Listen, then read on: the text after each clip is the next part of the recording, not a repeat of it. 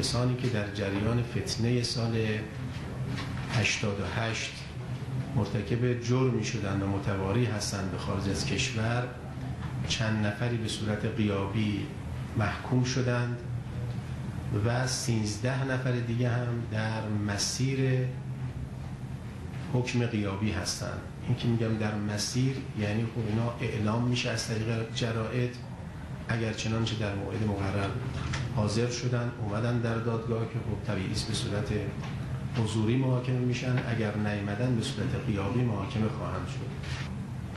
چند نفری هم که از به کشور برگشته بودند و توجه اتهام داشتن اونان تحت تعقیب قرار گرفتن.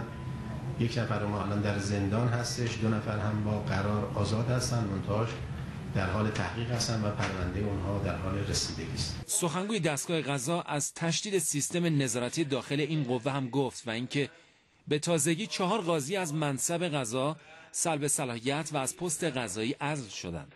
به گفته ایجی چند قاضی دیگه هم دستگیر شدند و تحت تعقیب قرار دارند. در این ارتباط تعدادی از دلالان و بعضی از وکلا هم شناسایی و تعدادی از جایلان عنوان که به نام قاضی و کارمند فعالیت و سیستم قضا رو بدنام می‌کردن هم دستگیر شدند اما نظر سخنگوی دستگاه قضا درباره لغو جلسه فیلترینگ به بهانه عدم حضور سایر اعضا. نه اون جلسه رسمیت داشته و با طبق ضوابط قانونی انجام شده. اون رأی هم که صادر شده مطابق قانون بوده.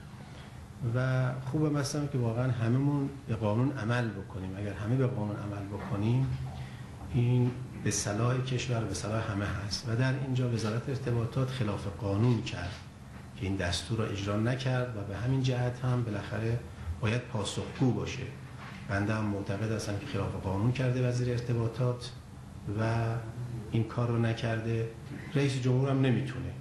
بله شورای عالی فضای مجازی اگر مصوبه داشته باشه حتما اون را ما به منزله قانون میدیم عمل می‌کنیم. اما اولا شورای عالی فضای مجازی چنین مصوبه نداشته و شخص رئیس جمهور هم البته خودشون گفتن هیچ خلاف قانون نمی‌کنن و آیا اصلا چنین دستوری دادن یا ندادن نمی‌دونم. لکن اگر همچنین دستوری داده باشن این دستور خلاف قانون.